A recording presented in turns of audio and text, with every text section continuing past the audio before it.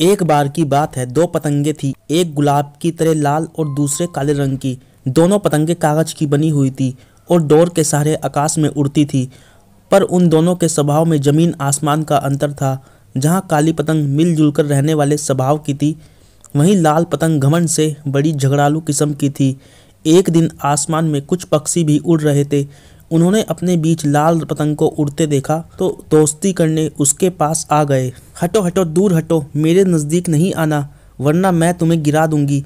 लाल पतंग ने उनको दुदकारते हुए कहा, तुम्हारे शरीर कितने भद्दे हैं, ऐसा मत बोलो बहन, तुम्हें अपने बीच पाकर हम बहुत खुश हैं।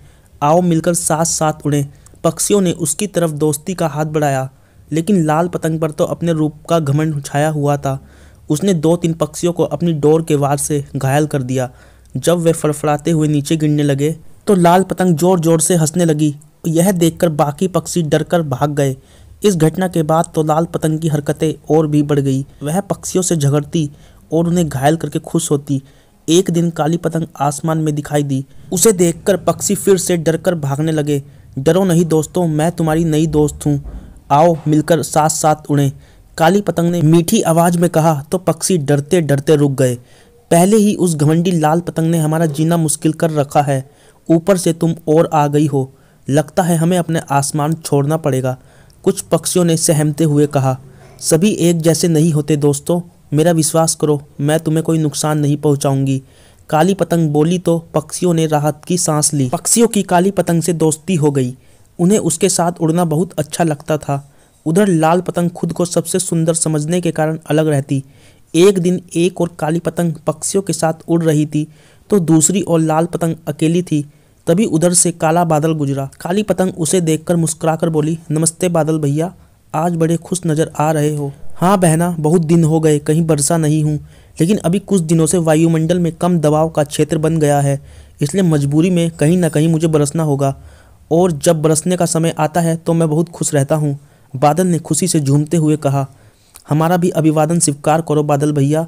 काली पतंग के साथ उड़ रहे सभी पक्षियों ने एक साथ कहा, तुम सबको नमस्ते दोस्तों। आज काली पतंग बहना के साथ उड़ रहे हो।